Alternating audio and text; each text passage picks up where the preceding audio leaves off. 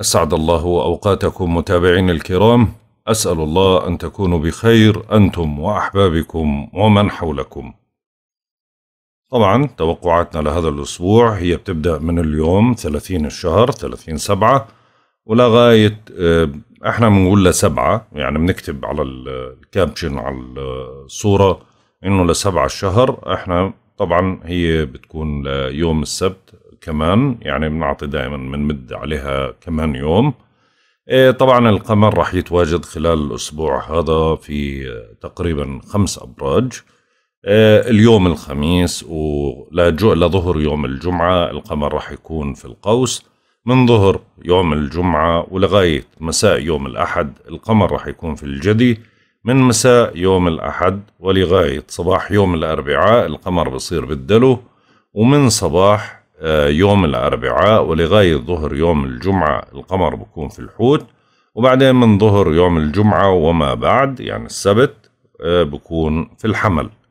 طبعا بالنسبة لخلو المسار اللي راح يصير فبما إنه هاي الانتقالات معناته عندنا أربع خلوات مسار خلال هذا الأسبوع.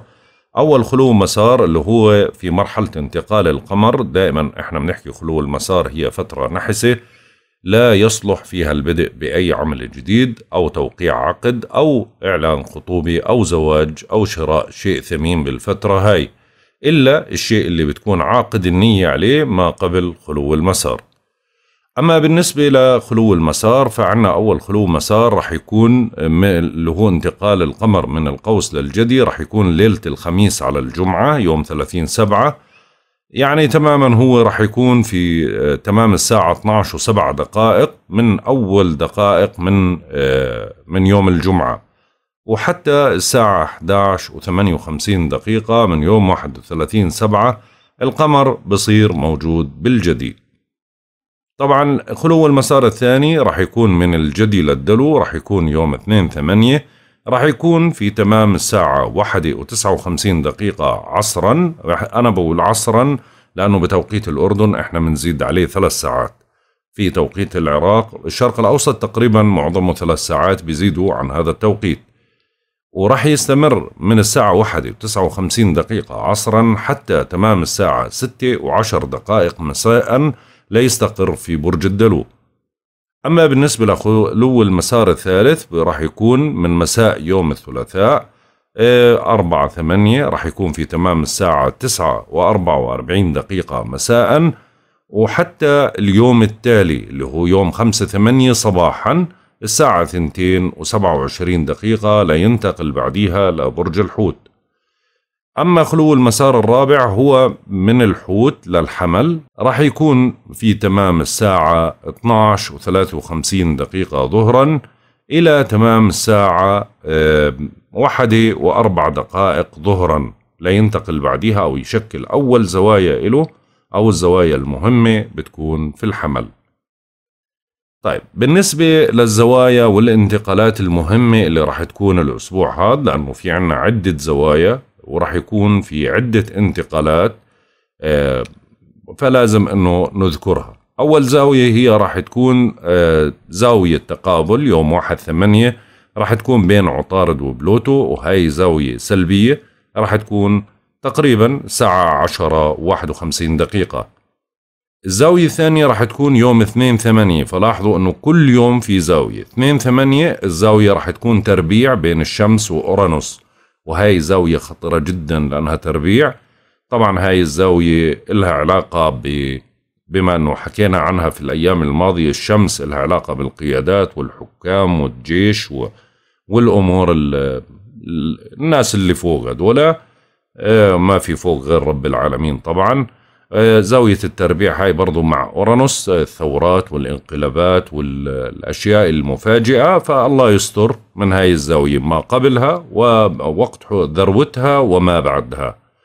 أما بالنسبة للزاوية اللي راح تليها اللي هي يوم ثلاثة ثمانية هي زاوية بين عطارد تقابل مع زحل. برضو هاي زاوية سلبية ولكن مش بقوة زاوية التربيع اللي راح تكون بين الشمس وأورانوس اللي ذكرناها.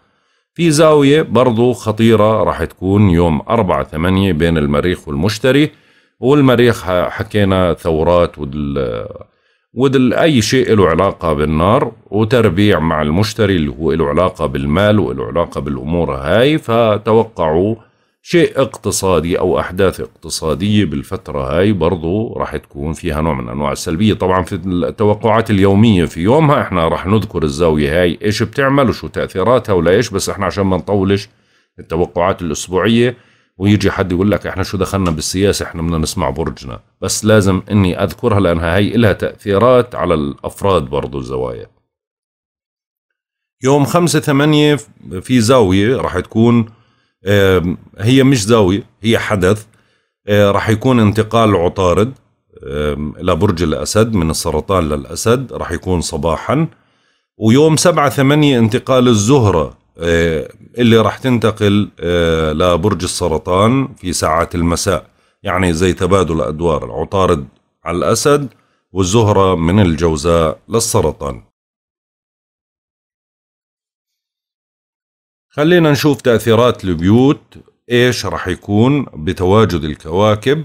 طبعا إحنا بنذكر هاي عشان ما بنحكي توقعات شهرية ولكن لو أخذت اللي أنا بدي أحكيه الآن هو مخطط يعني توقعات شهر أساسا لأنه خلال الشهر هاي التأثيرات راح تكون مستمرة إلا إذا في حال انتقل الكوكب كل أسبوع إحنا بنذكر بنعيدها ومنأكد عليها عشان تعرف إيش السلبيات وإيش الإيجابيات وأنت مدعوم في إيش. عشان تعرف شو يعني بيوت بتروح في في صندوق الوصف رابط بدلك شو معنى البيوت هاي شو دلالاتها وين موجودة شو بتعني لك بالنسبة لإلك شو برجك يعني وشو بتعني لك لإلك بشكل مبسط وراح تفهمها بكل سهولة. خلينا نبدأ مع برج الجدي. طبعا أول ما بدنا نحكي بدنا نحكي عن الشمس الشمس اللي موجودة في البيت الثامن. وبما أنها راح تشكل زوايا أو زاوية تربيع سلبية مع أورانوس فهي راح تحدث أشياء لها علاقة بالأموال المشتركة. يعني أموال ما بتعود لك أو أموال أنت شركة وأنت وأشخاص فيها أو مطالبات مالية أو ديون أنت مداينها لأشخاص وبتحاول أنك تحصلها أو أموال إلك بتحاول تستردها. أشياء بتكون فاقدها. ممكن ينتصب عليك بالفترة هاي. ممكن تتعرض لموضوع له علاقة بالأزمات المالية. شوي بتضغط هاي برضو على مسائل إلها علاقة بالقروض والأمور البنكية أو ضريبة أو تأمين.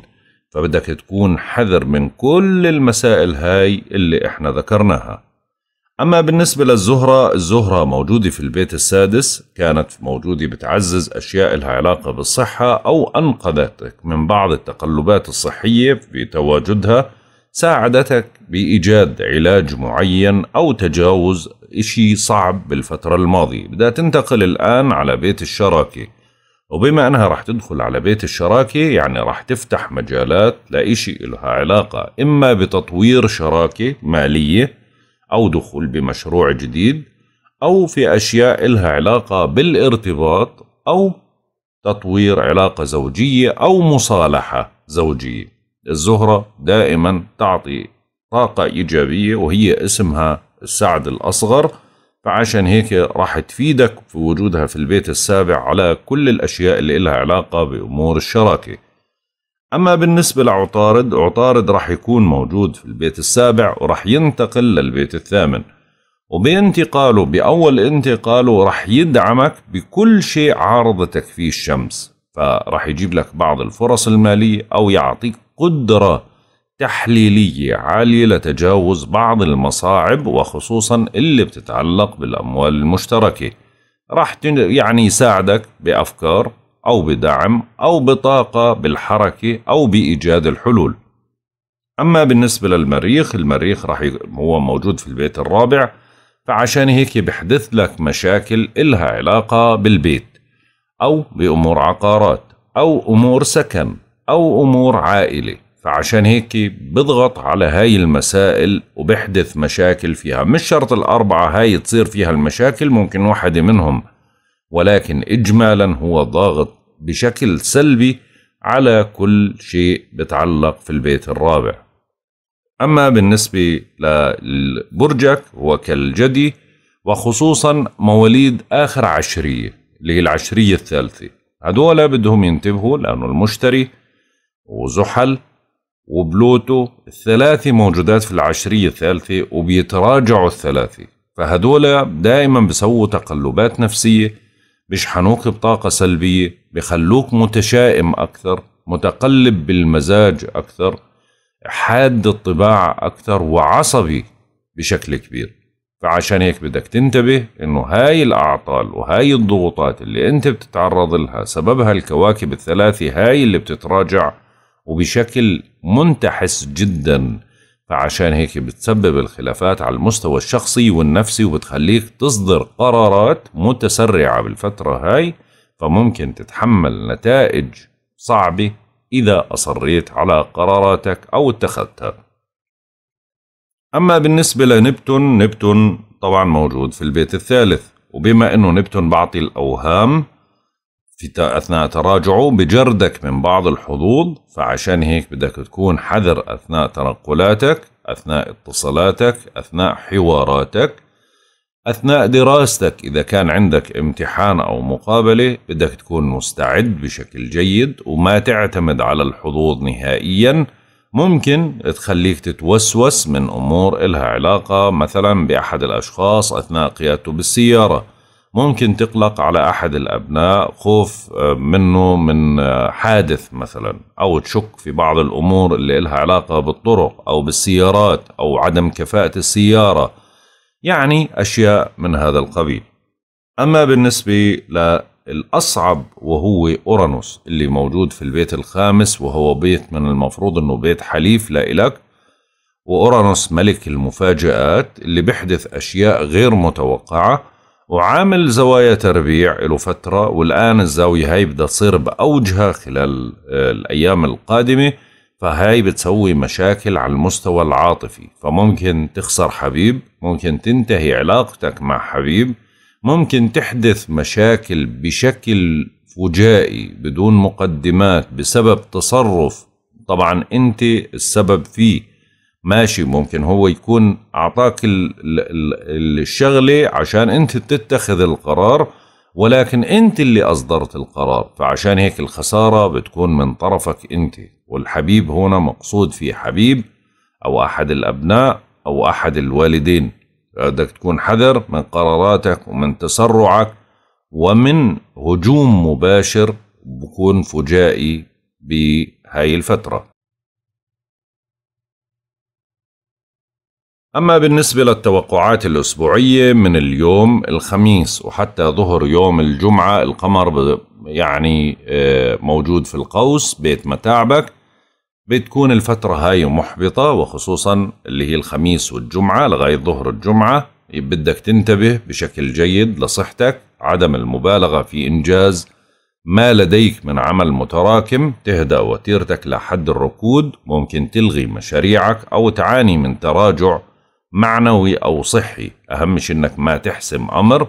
الفترة هاي سلبية ومخيب الآمال وممكن تندم على أي خطوة بتقوم فيها. من ظهر يوم الجمعة بيكون القمر في برج الجدي حتى مساء يوم الأحد. بتبدأوا الفترة هاي فترة إيجابية بتعيد لكم نشاطكم المفقود ووسعكم السيطرة على زمام الأمور.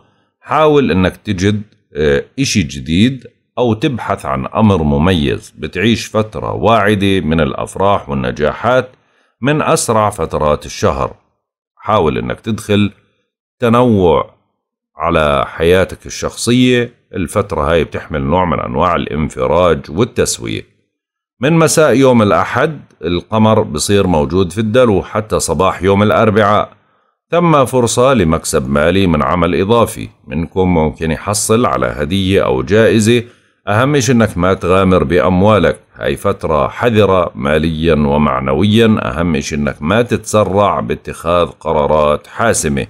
أنت بحاجة لكل التعاطف والتضامن. من صباح يوم الأربعاء القمر بصير موجود بالحوت حتى ظهر يوم الجمعة. بتكثر عندكم الاتصالات والتنقلات. فترة مناسبة للقيام بنزهة قصيرة. بتعززوا العلاقة مع أخ أو جار. هاي فترة مهمة للتواصل مع المجتمع ولإسماع صوتك.